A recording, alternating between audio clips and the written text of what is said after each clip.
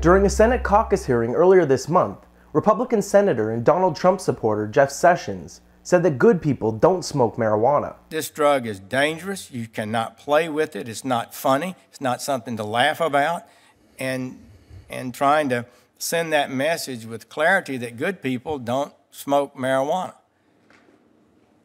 Nearly half of Americans say they've used cannabis, according to Pew Research, and that includes the current and past presidents of the U.S., countless artists, scientists, and entrepreneurs, millions of medical cannabis patients, and millions of other regular Americans. But because they use or have used cannabis, according to Senator Sessions, they're not good people. Good people don't smoke marijuana. Of course, no rational person would accuse anyone of being a bad person simply for using cannabis or any other substance. But Sessions isn't a rational person. In fact, based on his racist past and attacks on voting rights, he isn't even an objectively good person. For example, in 1986, before his election to the Senate, Sessions was nominated to a federal judgeship by Ronald Reagan, but the Senate Judiciary Committee rejected him, making Sessions only the second nomination to be vetoed in 50 years.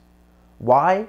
He allegedly made frequent racist comments to aides and colleagues. According to one black lawyer, Sessions regularly referred to him as boy and warned him to be careful what you say to white folks. Sessions purportedly told another aide that the NAACP and ACLU are un American, communist inspired, and forced civil rights down the throats of people. Additionally, Sessions admitted to saying he thought the Ku Klux Klan were okay until he learned they smoked pot, but claimed it was a joke. If that wasn't enough, Sessions has called the Voting Rights Act of 1965 intrusive and to this day argues for its dismantling. Sessions also supported the Bush tax cuts, the Iraq War, is fervently anti-gay and anti-immigration, and endorsed Donald Trump for president. As for Sessions' claim that cannabis is dangerous, the scientific evidence suggests otherwise. For instance, unlike most legal drugs, no one has ever died from cannabis overdose.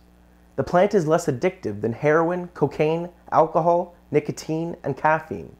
And cannabis is not a gateway to harder drugs. Moreover, two recent studies even found that adolescent cannabis use has no impact on intelligence, unlike tobacco. Based on the facts, cannabis isn't a danger to the United States. Senator Jeff Sessions is.